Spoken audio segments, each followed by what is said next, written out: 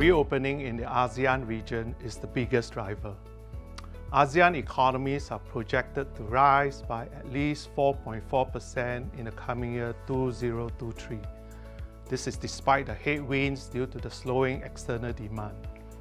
But higher tourism arrival in Singapore will boost the service sector.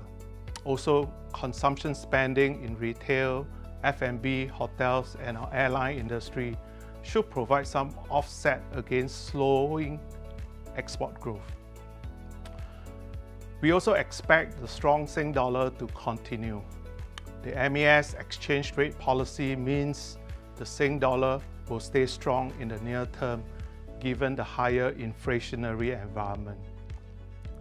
This suggests that the Sing dollar will remain a relative outperformer as a hedge against any FX depreciation, and this in turn may attract foreign inflows and provide support to our domestic equity market.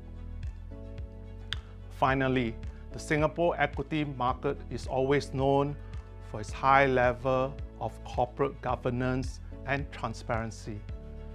The quality and defensiveness of Singapore blue chips is likely to stand out against tough economic conditions in the months ahead.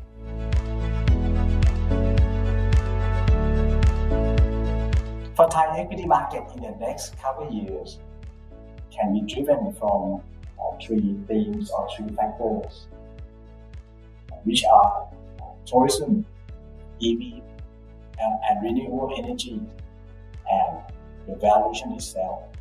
The first one is tourism. Right now, the foreign uh, tourists come back after the pandemic. This will be the key and the main driver for Thai economies in the next couple of years and many years ahead. Noted that 12% of our GDP are from tourist sector, then you can see that how much it impact to our economy. The second one is the EV and renewable energies. BYD one of the large EV producers, use Thailand as the center of production to produce and export EV car to Asia and also in EU. This will lead to the growth of other supply chains in Thailand. Lastly, the valuation itself. They are not cheap, they are not expensive, but they are listening from the growth of many sectors that are now improving overall.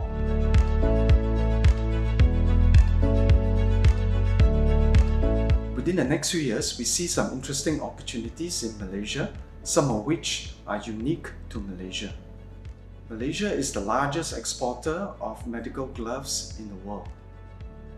While the industry is currently going through supply-demand imbalances, we expect that over the next few years, the imbalances could work itself out and there will be opportunities uh, subsequently. Secondly, Malaysia is a key player in the global semiconductor supply chain.